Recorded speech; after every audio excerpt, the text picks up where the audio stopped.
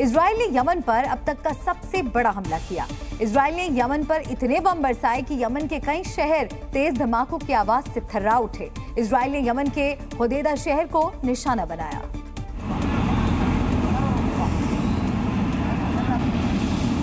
और इस हमले में खुदेदा बंदरगाह पूरी तरह तबाह हो गया। वहाँ से जो तस्वीरें सामने आई, उसमें खुदेदा पोर्ट के हमले के बाद आग की लपटों में घिरा नज़र आया। ये आग की लपटें इतनी तेज थीं कि इन्हें दो से तीन किलोमीटर दूर से भी देखा गया। इसराइल ने खुदेदा पोर्ट के अलावा यमन के तेल डिपो, रिफाइनरी और एक बिजली घर पर भी हमला किया। और इस हमले के बाद यमन के कई इलाके धुआँ धुआँ हो गए, क्योंकि एयर स्ट्राइक के बाद वहाँ आग लग गई और पूरे इलाके में धुएँ का गुबार फैल गया। इसराइल ने यह हमला शुक्रवार को हुतियों द्वारा इसराइल के तेल अवीव शहर में किए गए हमले के जवाब में किया। शुक्रवार को यमन के हुती ग्रुप ने इसराइल के सबसे बड़े शहर तेलवीव को ड्रोन से निशाना बनाया था, जिसमें एक व्यक्ति की मौत हो गई थी। और इसीलिए इसराइल ने होदेदा पोर्ट पर हमला करके तेलवीव पर हुए हमले का बदला लिया। बताया जा रहा है कि इसराइल की तरफ़ से की गई इस एयर स्ट्राइक में तीन लोगों की मौत हो गई, जबकि सतासी से ज़्यादा लोग घायल हो गए। इसराइल ने पहले ही बदला लेने की धमकी दी थी। इसराइल ने यमन के उन इलाकों को निशाना बनाया जहाँ हूती विद्रोहियों का कब्जा है। यमन पर इसराइल ने एफ़ थर्टी और एफ़ सिक्सटीन लड़ाकू विमानों से ताबड़तोड़ हमले किए। हवाई हमले में आठ एफ़ पैंतीस लड़ाकू शामिल थे, जबकि पाँच एफ़ सिक्सटीन लड़ाकू विमानों ने एयर स्ट्राइक की। इस हमले के बाद इसराइल के प्रधानमंत्री बेंजामिन नेतन्याहू दुनिया के सामने आए और उन्होंने अपने दुश्मनों को सख्त चेतावनी देते हुए कहा कि जो लोग इसराइल को नुकसान पहुंचाना चाहते हैं उन्हें उनकी आक्रामकता के लिए भारी कीमत चुकानी पड़ेगी। वहीं जिस समय इसराइल डिफेंस फोर्स यमन के ऊपर ताबड़तोड़ बम बरसा रही थी वॉर रूम में प्रधानमंत्री बेंजामिन नेतन्याहू भी मौजूद थे। नेतन्याहू खुद वॉर रूम में मौजूद रहकर हमले की एक एक जानकारी ले रहे थे। और वॉर रूम का एक वीडियो भी सामने आया जिसमें खुद प्रधानमंत्री बेंजामिन नेतन्याहू अधिकारियों से पल पल की अपडेट लेते नज़र आए।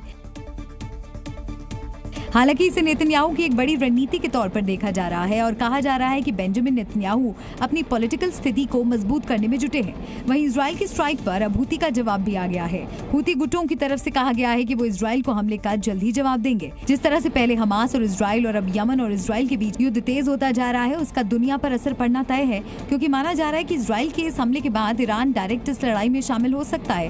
और अगर ईरान इस लड़ाई में कूदा तो निश्चित तौर पर दुनिया दो गुटों में बटी दिखाई देगी, जिसमें एक गुट इसराइल के मित्र देशों का होगा और दूसरा गुट ईरान और यमन के समर्थन वाले देशों का होगा। गाजा में इजरायली एयरफोर्स ने एक बार फिर ताबड़तोड़ बमबारी की है, जिससे गाजा एक बार फिर धमाकों की गूंज से दहल उठा। इजरायली मिसाइलें जिस ठिकाने पर गिरी, वो पूरी तरह से धराशायी हो गया। इसराइल ने ऐसी बमबारी की कि पूरी बिल्डिंग तबाह हो गई। वीडियो में साफ़ देख सकते हैं कि एक आदमी चहलकदमी करते हुए चल रहा होता है। ठीक उसी वक्त हवाओं को चीरती हुई इसराइली मिसाइल बिल्डिंग पर गिरती है और पूरी की पूरी बिल्डिंग पल भर में तबाह हो जाती है। कुछ दिखता है तो सिर्फ़ और सिर्फ़ आसमान में उठता धुएँ का गुबार इसराइल को जानकारी मिली थी कि इस बिल्डिंग में हमास के आतंकियों ने ठिकाना बना रखा था। जिसके बाद पूरी बिल्डिंग को इसराइली एयरफोर्स ने टारगेट किया। इसराइल की बमबारी में पिछले 24 घंटे में गाजा के सैंतीस लोगों की मौत हो गई। वहीं चौवन लोग गंभीर रूप से घायल हो गए हैं। घायलों को अस्पताल में भर्ती कराया गया है। इसराइल का हमास के खिलाफ ऑपरेशन फ़िलहाल थमता नहीं दिखाई दे रहा। इसराइल के हमलों में अब तक करीब अड़तीस लोगों की मौत हो चुकी है और करीब नब्बे लोग घायल हैं। इतनी बड़ी संख्या में हताहत होने के बाद भी इस जंग की आग कम नहीं हो रही है। रोज इजरायली सैनिक गाजा में आग बरसा रहे हैं। इसराइल के हमलों में बर्बाद हो चुकी इमारतें इस बात का सबूत है कि गाजा पूरी तरह तबाह और बर्बाद हो चुका है। इस बर्बादी का अंत कब होगा, ये उम्मीद लगाना भी मुश्किल होता जा रहा है। पाकिस्तान सरकार ने इसराइल के प्रधानमंत्री बेंजामिन नेतन्याहू को आतंकवादी घोषित कर दिया है। प्रधानमंत्री शहबाज शरीफ के राजनीतिक सलाहकार राणा सनाउल्ला ने कहा कि नेतन्याहू एक आतंकवादी और युद्ध अपराध के दोषी हैं।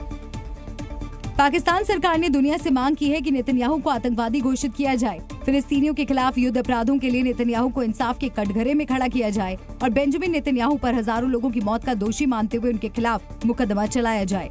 बताया जा रहा है कि दूर दक्षिण पंथी पार्टी तहरीके तबैक पाकिस्तान, यानी टीएलपी के दबाव में आकर पाकिस्तान सरकार ने नेतन्याहू को आतंकवादी घोषित करने की मांग की है, क्योंकि टीएलपी के लोग बीते कुछ समय से अपनी कई मांगों को लेकर धरना दे रहे हैं और उनकी एक अहम मांग नेतन्याहू को आतंकी घोषित करने की भी रही है। और ऐसे में माना जा रहा है कि पाकिस्तान सरकार ने टीएलपी के धरने को खत्म कराने के लिए ही ये फैसला लिया है।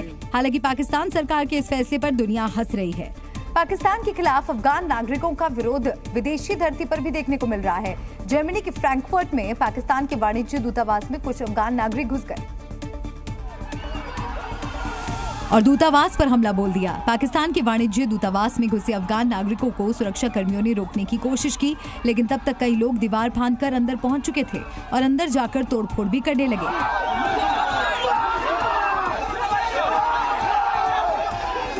और एक शख्स दूतावास कैंपस में लगे खंबे पर चढ़ गया और पाकिस्तान का झंडा उतार कर ले आया। इस दौरान प्रदर्शनकारियों की सुरक्षा कर्मियों से झड़प भी हुई। इनके हाथों में अफ़गानिस्तान का झंडा भी था। अफगान नागरिकों और सुरक्षा कर्मियों के बीच पाकिस्तानी दूतावास के बाहर काफ़ी देर तक हंगामा चलता रहा। और पाकिस्तान के खिलाफ जमकर नारेबाजी की। इस घटना के बाद जर्मनी ने पाकिस्तान दूतावास की सुरक्षा बढ़ा दी है। अफगान नागरिकों की इस हरकत के बाद पाकिस्तान सरकार भी अलर्ट पर है। हमले के पीछे का असली कारण पता नहीं चल पाया है, लेकिन माना जा रहा है कि पाकिस्तान की ओर से अफगान शरणार्थियों को वापस अफ़गानिस्तान भेजने से लोगों में नाराज़गी है। चीन और यूएई एक ज्वाइंट सैन्य अभ्यास कर रहे हैं, जिसमें UAE air force fighter jet Mirage 2000 के साथ हिस्सा ले रहा है। मिराज फाइटर जेट वही लड़ाकू विमान है जिसका इस्तेमाल भारत ने पाकिस्तान के खिलाफ बालाकोट में एयर स्ट्राइक के लिए किया था। ताइवान भी मिराज 2000 फाइटर जेट का इस्तेमाल करता है। चीनी वायुसेना और यूएई एयरफोर्स चीन के शिंजियांग प्रांत में फाल्कन शील्ड 2024 नाम से ज्वाइंट एयर एक्सरसाइज कर रहे हैं। इस एक्सरसाइज में चीनी पीपल्स लिबरेशन आर्मी की वायुसेना ने अपने दो लड़ाकू विमानों जे वन सी और जे सिक्सटीन को तैनात किया है। वहीं यूएई की एयरफोर्स अपने मिराज 2000 फाइटर जेट के साथ ताकत दिखा रही है। फ्रांस में बने मिराज 2000 लड़ाकू विमानों का इस्तेमाल भारत और ताइवान भी करते हैं। अब इस एक्सरसाइज के ज़रिए चीन भी फाइटर जेट मिराज की ताकत देख रहा है। यूएई के रक्षा मंत्रालय ने इस हफ़्ते की शुरुआत में सोशल मीडिया प्लेटफॉर्म एक्स पर एक्सरसाइज की घोषणा की थी। यूएई ने तीन विमानों को एक अज्ञात हवाई अड्डे पर दिखाते हुए दो तस्वीरें भी जारी की। हालाँकि चीन और यूएई की वायुसेना ने अभी तक कोई ब्यौरा सार्वजनिक नहीं किया है। यूएई की वायुसेना मुख्य रूप से एफ़ सिक्सटीन और मिराज 2000 जैसी पश्चिमी लड़ाकू विमानों का इस्तेमाल करती है। चीन अब इस एयरफोर्स एक्सरसाइज में ये जानने की कोशिश में जुटी है, मिराज 2000 लड़ाकू विमान उसके लड़ाकू विमानों की तुलना में कैसा है और उसकी ताकत क्या है? क्योंकि फ्रांस के लड़ाकू विमान मिराज 2000 का इस्तेमाल भारत भी करता है और चीन के जानी दुश्मन ताइवान के पास भी मिराज फाइटर जेट का जखीरा है। अमेरिका में राष्ट्रपति चुनाव के लिए रिपब्लिकन और डेमोक्रेट पूरा ज़ोर लगा रहे हैं। जानलेवा हमले के बाद डोनाल्ड ट्रंप पहली बार प्रचार के लिए निकले और मिशिगन पहुँचे। जहाँ उन्होंने जोरदार प्रचार किया बड़ी संख्या में ट्रंप के समर्थक मौजूद रहे इस दौरान उन्होंने राष्ट्रपति बाइडेन पर निशाना साधा और कमला हैरिस और नैन्सी पेलोसी को लेकर जोरदार तंज किया You ever watch her laugh? She's crazy. You know, you can tell a lot by her laugh. No, she's crazy. She's nuts. इसके साथ ही डोनाल्ड ट्रंप ने डेमोक्रेट उम्मीदवार जो बाइडेन का मज़ाक उड़ाया और कहा कि वहाँ तो उनकी उम्र को लेकर उम्मीदवारी छोड़ने के लिए दबाव बनाया जा रहा है दरअसल कई मौकों पर बाइडेन की उम्र को लेकर सवाल खड़े हुए। खुद उनकी पार्टी में भी कई लोगों ने उनकी उम्र को लेकर उम्मीदवार पर सवाल उठाए।